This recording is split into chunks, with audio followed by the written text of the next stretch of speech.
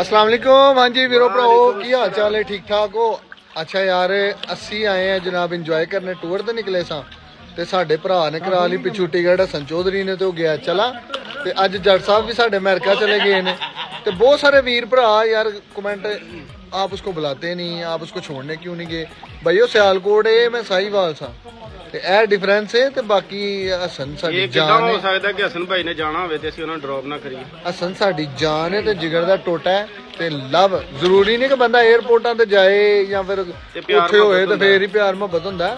ਹੈ। ਚੀਜ਼ਾਂ ਨਾ ਕਰਿਆ ਕਰੋ ਹਸਨ ਲਈ ਤਾਂ ਸਾਡੀ ਜਾਨ ਵੀ ਨਿਸਾਰ ਹੈ। ਲਵ ਕਿਉਂ? ਹਮਾਰਾ ਲਵ ਦਿਲ। ਜਾਨ ਜਾਨੇ ਜਿਗਰ। ਹਾਂਜੀ। ਮਿਸ ਯੂ ਮੇਰੀ ਜਾਨ। ਚੌਧਰੀ ਸਾਹਿਬ। ਨਹਿਰਾ ਛਪੜਾਂ ਚ ਨਹਾਉਣ ਵਾਲੇ ਅੱਜ ਪੂਲਾਂ ਚ ਨਹਾ ਰਹੇ ਤੇ ਹਸਨ ਚੌਧਰੀ ਨੇ ਲਾਇਆ। ਯਾਰ ਖਾਨ ਨੇ ਕੀ ਕਹਾਇਆ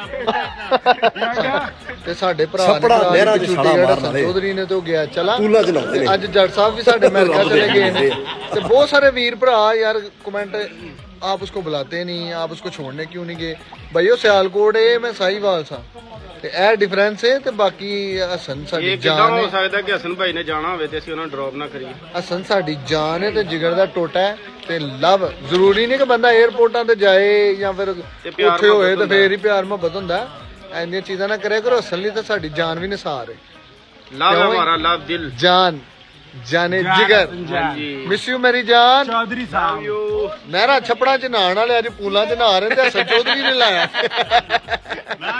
ਨਾ ਯਾਰ ਖਾਨ ਨੇ ਕੀ ਕਹਾਇਆ